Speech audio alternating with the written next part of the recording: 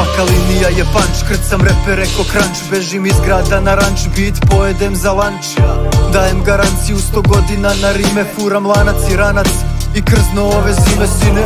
Vreli na sajmišta se uvukla u gluvu sobu. Posljednje pare pucamo na garderobu Nekad u vansu i globu Pa sa bendom na probu. Strofe bacam u hodu Nikad eksere i vodu Ako si s nama onda igraj za ekipu. Ili budi još jedna kurva u džipu.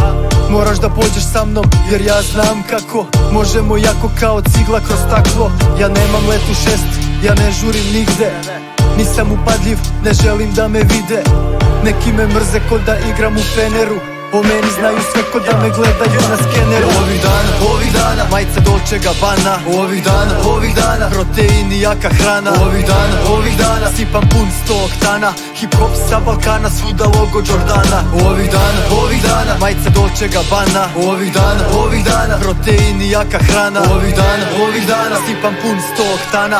Hip hop sa Balkana, svuda logo Jordana Top, top, topčina, ovo je hip hopčina Ribo klimaj glavom dok ne ispadnu ti sočiva Rap mi je ljubav, trep mi je sprdnja.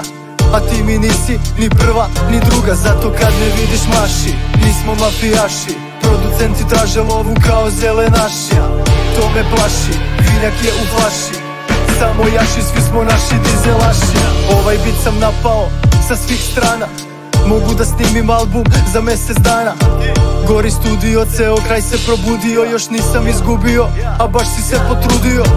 Moj nož ste mi zabili u leđa Nije mi ništa, evo vam još jedan.